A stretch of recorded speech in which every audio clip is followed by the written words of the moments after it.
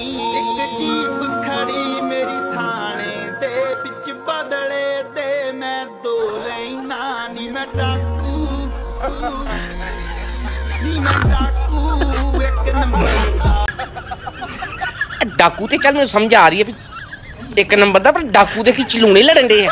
ਹੈ? ਇਹ ਚਲੂਣੇ ਕਿਉਂ ਲੜਨ ਦੇ ਨੇ ਡਾਕੂ ਦੇ?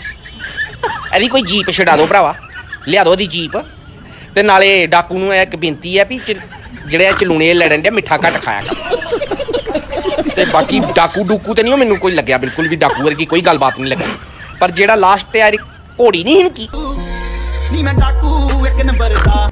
ਉਹਦੇ ਵਰਗੀ ਜ਼ਰੂਰ ਲੱਗਣ ਦੀ ਹੈ ਤੇ ਘੋੜੇ ਦੇ ਮੂੰਹ ਵਰਗੀ ਹੈ ਉਹਦੇ ਵਰਗੀ ਜ਼ਰੂਰ ਲੱਗਣੀ ਹੈ ਆ। ਵੇਖੋ ਅੱਜ ਕੱਲ ਜਿਹਦਾ ਗਾਣਾ ਨਾ ਉਹ ਵੀ ਭੈਣ ਚੋ ਕਿਤੇ ਜੇ ਵੇਖ ਲਈ ਨਾ ਉਹਨੇ ਵੀ ਹੈਰਾਨ ਪਰੇਸ਼ਾਨ ਹੋਏ ਨਾ ਵੀ ਇਹਨੂੰ ਭੈਣ ਚੋ ਕਿਹੜੇ ਦੌਰੇ ਪੈਣ ਦੇ ਆ?